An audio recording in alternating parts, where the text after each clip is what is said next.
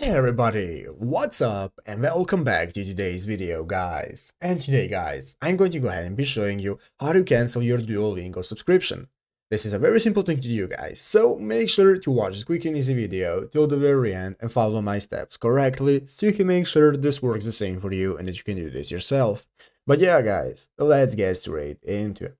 So guys, the first thing you want to do is go ahead and open up the official Duolingo app on your mobile phone if you haven't already. As you can see, here is the app on my mobile phone. So I'm just going to go ahead and open up and log into my Duolingo account. So after logging into my Duolingo account, I will be greeted by this main page right here, which is the home page of Duolingo, where we can get started with doing our lessons for today.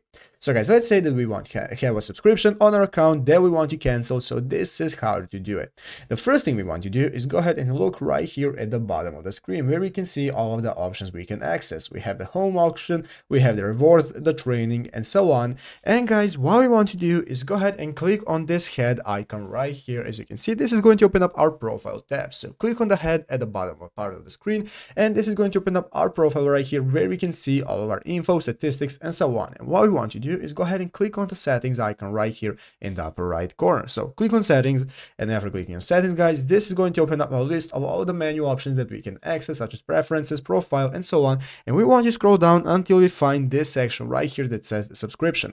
So as you can see currently I have no plan so I have the option to go ahead and choose a plan. But guys if you already have a subscription that you want to cancel there is going to be an option right here that says to manage your subscription and in there you just want to go ahead and click the cancel button. So click the cancel and confirm confirm you want to cancel and after that you'll successfully cancel your subscription and you'll no longer be paying for it.